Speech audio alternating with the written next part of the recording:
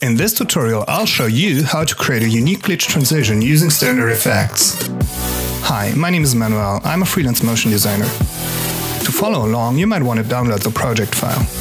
My comp is 60 frames long, 1920 by 1080. The footage, two pictures are slightly zooming in. I animated the scale. The cut is after 30 frames. I downloaded these pics from Unsplash. Thanks to anybody who uploads there, it's an amazing resource. Now, we want to be able to change the footage later. Therefore, we pre-compose these two solids. Select them, go to Layer and choose Pre-compose. We want to move all attributes into the new composition.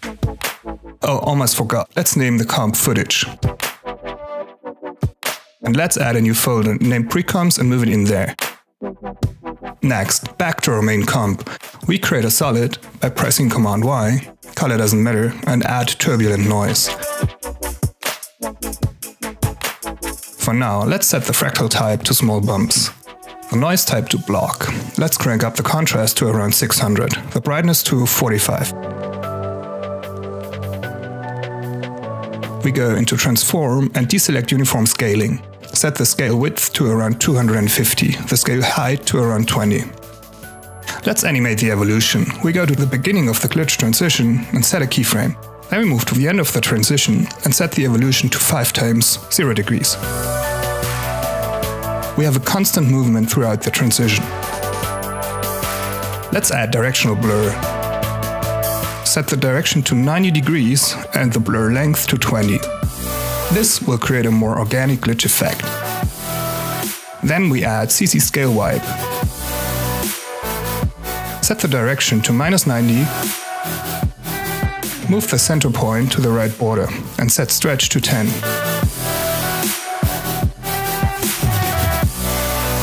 Now we pre-compose this layer as well. Move all attributes into the new comp and name it displacement map.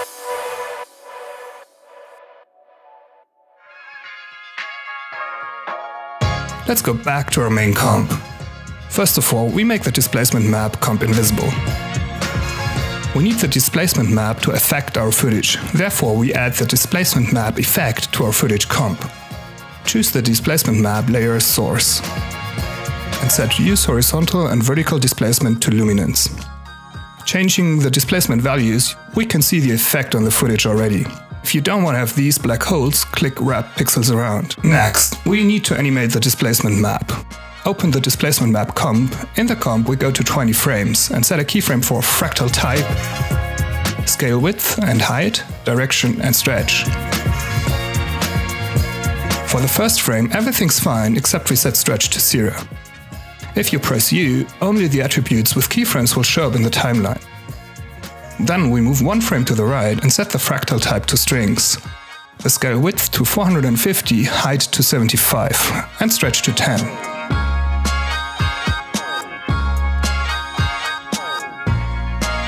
We move to frame 23 and set the scale width to 600 and set a keyframe for the height.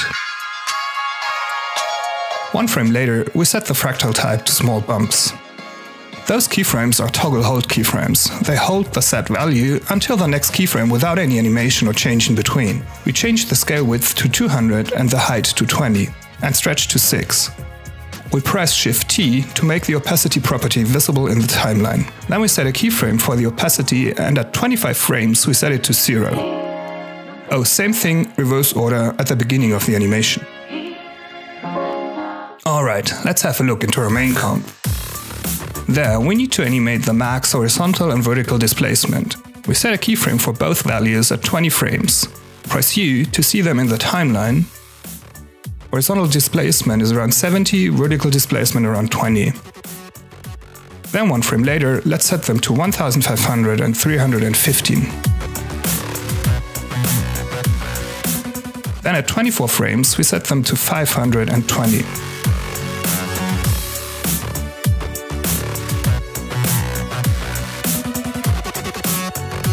Let's have a look. These values are kind of random. Important is, the animation has a nice flow. Let's add brightness and contrast. Set them to 0 at 19 frames, then at 20 frames let's set them both to 100. Then at 22 frames, let's get dark and set the brightness to minus 125. Then at 24 frames, back to 100. Then at 26 frames both to 0.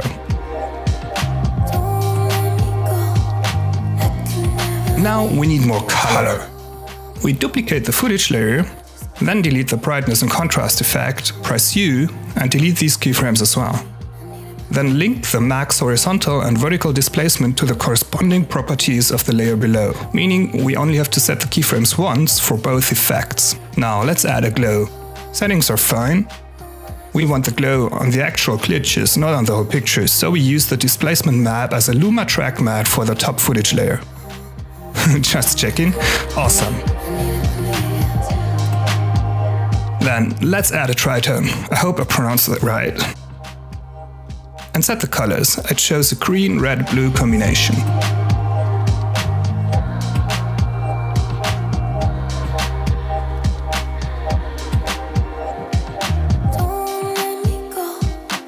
First part is done. Back to our displacement map. Let's animate the second glitch. First of all, let's duplicate these keyframes by selecting them and pressing Command C, then Command V. Then move the end one frame to the right to make it a bit longer. We want to be as effective as possible, so I think to copy and paste keyframes and then change some of the settings is a great way. Let's set the stretch to 6 here at the beginning, then move one frame to the right and set the fractal type to basic. Set the scale width to around 400, the height to around 80. Let's change the blur direction to 180 degrees. We want a full screen glitch here to hide the cut. At 31 frames, let's set the fractal type to subscale. One frame later, let's set the scale width to 2800 and the height to around 200. One frame later, let's set the blur direction back to 90 degrees. Finally, let's move to 38 frames and copy the first glitch. Delete the last row to make it shorter.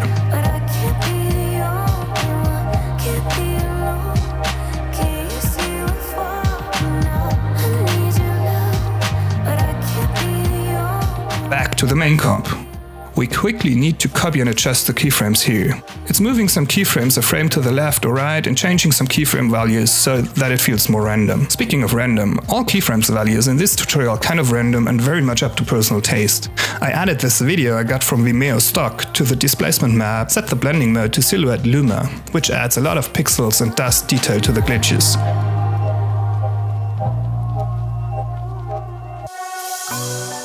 You could also add scatter, for example, to add more dust. I guess it's time for you to play around for a while. Like I did before recording this, you'll get some crazy results. On the left side, I've added some videos you might like. Subscribe to my channel on the right side and ring the bell if you want to know exactly when the next video is coming out.